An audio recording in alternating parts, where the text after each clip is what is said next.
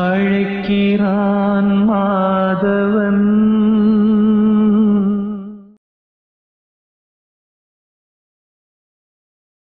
திருமாறன் தம்பி உங்களுக்கு ரொம்ப ரொம்ப நன்றி. திதி தேவத வழிபாட்டை பற்றி எல்லாருக்கும் சொன்னதுக்காக ரொம்ப ரொம்ப நன்றி. திதி தேவத வழிபாடு பண்ணுறதுக்காக நான் திதி என்னோட திதி தேவதை கண்டுபிடிச்சி ஃபோட்டோ வாங்கி வீட்டில் வச்சு நீங்கள் சொன்ன மாதிரி அவ்வளோ நம்பர் ஆஃப் டைம்ஸ் ரொம்ப ரெகுலராக என்னால் ஒரு ஒன் வீக் கூட கண்டினியூஸாக சொல்ல முடியல. அப்படி சொல்ல முடியலனாலும் நான் நல்ல சேஞ்சஸ் வீட்டில் வச்சு ஜஸ்ட்டு பூ வச்சு திதி தேவதையோட ஃபோட்டோக்கு பூ வச்சு எப்பயும் எல்லா சுவாமிகளுக்கும் விளக்கேற்றி ப்ரே பண்ணிக்கிற மாதிரி ஒரு two minutes to five minutes pray பண்ணி பண்ணிட்டேன். அப்படி பண்ணிட்டதே எனக்கு பயங்கர சேஞ்சஸ் இருக்குது நான் ரொம்ப நாளாக கிட்டத்தட்ட வருஷக்கணக்காக டூ டு த்ரீ இயர்ஸ் இருக்கும். வீட்டிலேருந்தே ஏதாவது பண்ணணும் அப்படின்னு தேடிட்டே இருந்தேன். தேடிட்டே இருந்ததில் வந்து எனக்கு அட்லீஸ்ட் ஒரு மந்த் ஆன் மந்த் கொஞ்சமாவது ஏர்ன் பண்ணிட மாட்டோமா? ஆன்லைன் ஜாப்ஸ் அந்த மாதிரி ஏதாவது work from home based jobs அப்படி ஏதாவது தேடிட்டு இருந்தேன். பட் அது பட் எனக்கு எக்ஸாக்டாக ஒர்க் ஃப்ரம் ஹோம் ஜாப் கிடைக்கல. ஒரு ஹாஃப் டே போகிற மாதிரி ஒரு ஜாப் கிடச்சிருக்கு. ஸ்கூலில் மாண்டிசரி ஸ்கூலில் எனக்கு ஜாப் கிடச்சிருக்கு. பட் நான் ஹைலி சாட்டிஸ்ஃபைடு ஏன்னா நான் எ- எவ்வளோ சேல்ரி கிடைக்கணும் அப்படின்னு எக்ஸ்பெக்ட் பண்ணணும். அதை விட டபுளாக எனக்கு சேல்ரி கிடச்சிருக்கு. வீட்டிலேருந்து நம்ம இவ்வளோ ஏர்ன் பண்ணால் போதும் அப்படின்னு நான் எவ்வளோ லிமிட் ஃபிக்ஸ் பண்ணி இது பண்ணணும் நான் எக்ஸ்பெக்ட் பண்ணதை விட double double the amount salary எனக்கு கிடச்சிருக்கு. ஸோ ரொம்ப ரொம்ப தேங்க்ஸ் உங்களுக்கு. எல்லோருக்கும் வணக்கம். இன்றைய பதிவில் எந்த விஷயத்தை பற்றி பார்க்க போகிறோம் அப்படின்னா மனம் எப்பொழுது பக்குவப்படுதோ அப்போ தான் உங்களுக்கு நிம்மதி அப்படின்ற ஒரு விஷயம் கிடைக்கும். என்ன காரணம் கேட்டிங்கன்னா ஆல்ரெடி இது வந்து பிறக்கக்கூடியது கிடையாது ஆல்ரெடி இருக்கக்கூடியது.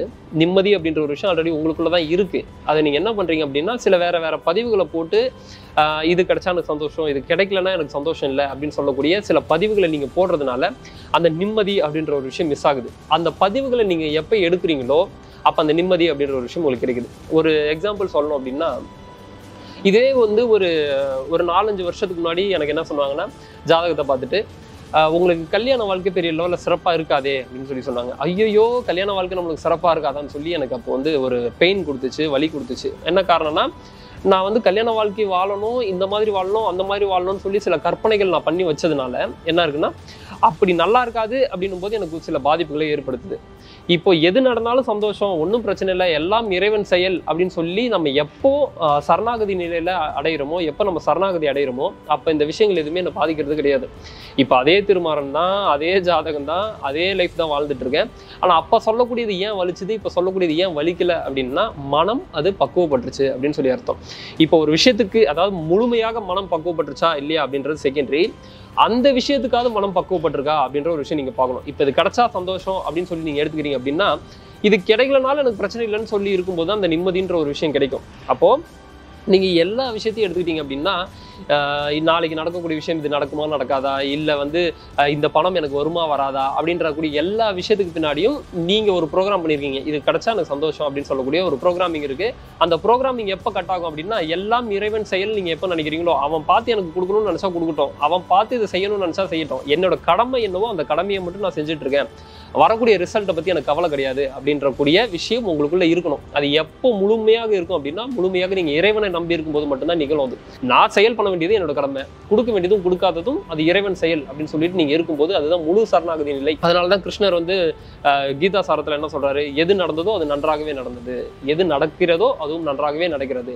எது நடக்க இருக்கிறதோ அதுவும் நன்றாகவே நடக்க இருக்கிறது அப்படின்னு சொல்லி சொல்றாரு. அப்போ எதுவாக இருந்தாலும் எல்லாமே அது இறைவன் செயல் அப்படின்னு போகும்போது நிச்சயமாக மனம் அது பாதிப்புக்குள்ள போவாது. அப்போ நீங்க பண்ண வேண்டிய விஷயம் என்ன அப்படின்னா எந்த செயல்கள் செய்தாலும் இறைவன் பார்த்துப்பாரு. இறைவன் பார்த்துப்பாரு நீங்க முழுமையாக இருக்கும்போது மனம் அது அமைதி பெறும். அப்ப ஏன் மெடிடேஷன் மனசு சொல்றோம் அப்படின்னா மெடிடேஷன் பண்ணும்போது இப்போ இன்னைக்கு ஒரு பிரச்சனை உங்களுக்கு நடக்குது. அந்த பிரச்சனை உங்களுக்கு இன்னைக்கு பெரிய லெவலில் ஒரு பாதிப்பாக உங்களுக்கு தெரியும். அதுவே வந்து ஒரு பத்து நாளுக்கு அப்புறமோ ஒரு இருபது நாளுக்கு அப்புறமோ இல்லை வந்து ஒரு ஒரு மாசத்துக்கு அப்புறமோ அந்த பிரச்சனையை பற்றி கேட்டால் உங்களுக்கு சிரிப்பு தான் வரும். அதை நீங்கள் கடந்து போயிருப்பீங்க. என்ன காரணம்னா அதை பத்தின பதிவுகள் போயிடுச்சு. அதை ஏற்றுக்கொள்ளக்கூடிய மனப்பக்குவம் வந்துருச்சு. அப்போ இதுவே நீங்க மெடிடேஷன் பண்ணும்போது என்ன அப்படின்னா எல்லாமே இறை செயல் அப்படின்னு போகும்போது மெடிடேஷன் பண்ணும்போது மனம் அது பக்குவம் அடையும். மனம் அது பக்குவம் அடையும் போது என்ன ஆகும் அப்படின்னா பிரச்சனை இப்போ வருது அப்படின்னாலே ஓகே எல்லாம் இறைவன் செயல் சொல்லும்போது உடனே மனம் பக்குவப்படுது அது ஏற்றுக்கொள்ளக்கூடிய மனப்பக்குவம் வந்துடுது சாதாரண மனிதனுக்கு சராசரி மனிதனுக்கு ஒரு மாதம் கழிச்சு ஒரு வருஷம் கழிச்சு ஏற்றுக்கொள்ளக்கூடிய மனப்பக்குவம் வர்றதுனால அவனுக்கு அப்போ அந்த பிரச்சனை என்பது விலகுது. இதுவே மெடிடேஷன் பண்ணக்கூடிய நபருக்கு நீங்கள் அப்பயே வரக்கூடிய பிரச்சனை எல்லாம் இறைவன் செயல் ஏற்றுக்கும் போது அப்பயே உங்களுக்கு அந்த நிம்மதின்றது ஒன்று பிறந்துருது. அப்போ இது என்ன அப்படின்னா அந்த கால சூழல் அந்த காலத்தோட டைம் தான் வந்து லென்த் ஆகுது. அப்ப நீங்க மெடிடேஷன் பண்ணும்போது அப்பயே ஏற்றுக்கொள்ளக்கூடிய மனப்பக்குவம் உங்களுக்கு நிச்சயமாக வரும். ஏன்னா எல்லாம் இறை செயல் அப்படின்னு இருக்கும்போது. அப்ப அதனாலதான் என்ன சொல்றாங்க? மனம் அது செம்மையானால் மந்திரம் ஜெபிக்க வேண்டாம் அப்படின்னு சொல்லி சொல்றாங்க. எல்லாத்துக்குமே அடிப்படையான பேஸ் என்ன அப்படின்னா மனம் அப்படின்ற ஒரு விஷயம் தான் ஏன்னா நீங்க ஒரு ஒரு டைமும் பாதிப்புக்குள்ள ஆகும்போது எது வருத்தப்படுது எது வந்து அங்க சங்கடப்படுது அப்படின்னா அந்த மனம் தான் வலிக்கிறது. அப்போ அந்த மனதை கட்டுப்படுத்தக்கூடிய அந்த மனதை கையாளக்கூடிய விஷயத்தை நீங்க கத்துக்கிட்டீங்க அப்படின்னா நிச்சயமாக அந்த பிரச்சனை என்பது வராது. ஸோ அந்த விஷயங்கள் எல்லாமே புரிஞ்சிருக்கும்னு சொல்லி நம்புறேன். அடுத்த வீடியோவில் சந்திப்போம். நன்றி. வணக்கம். உன் வாழ்க்கையில சிறப்பான விஷயங்கள் அடையணும் அப்படின்னா அதிகாலை எனக்குடைய பழக்கத்தை வச்சுக்கோன்னு சொல்லி சொல்றாங்க. ஸோ பிரம்ம முகூர்த்தத்தில் எந்திரிக்க சொல்லி சொல்றாங்க. நானும் எந்திரிக்கணும்னு நினைக்கிறேன். அலாம் வச்சுலாம் படுக்கிறேன் பட் என்னால் எந்திரிக்க முடியல அப்படின்னு சொல்லக்கூடிய பல பேருக்கு நாங்கள் கொடுக்கக்கூடிய விஷயம் என்ன அப்படின்னா டுவெண்ட்டி ஒன் டேஸ் சேலஞ்ச் வச்சிருக்கோம். இந்த டுவெண்ட்டி ஒன் டேஸ் சேலஞ்சை கம்ப்ளீட் பண்றவங்களுக்கு கிவ் அவே கொடுக்குறதாகவும் சொல்லியிருக்கோம். இதை பத்தி மேலும் தெரிஞ்சுக்கணும் அப்படின்னா கீழே கொடுக்கப்பட்டிருக்க வீடியோ பார்த்து தெரிஞ்சுங்க.